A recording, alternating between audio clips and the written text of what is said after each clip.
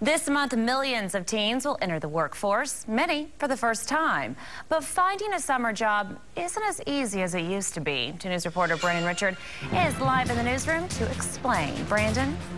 Well, Marla, teen unemployment is three times the overall national average. These days, teens aren't just competing against other teens for jobs, they're also competing against adults. But some teens are finding jobs, including at local pools. Hi, sir. Welcome to Big Splash. You can check your bags right over here, and I can scan in your cards. Amy Crone is one of millions of American teens entering the workforce this summer. You guys have an awesome time. Last summer, she was a lifeguard at Big Splash Water Park in Tulsa. This year, she's a greeter there. I'm saving to buy a computer for college next year. Uh, you have to get pretty specific computers to be an engineering student, and so that's where all this money is going to. And the fact that Amy has a summer job sets her apart from some of her peers, even her own friends. They have a harder time finding jobs. It's kind of difficult right now. How difficult is it? The unemployment rate among teens aged 16 to 19 is nearly 25 percent.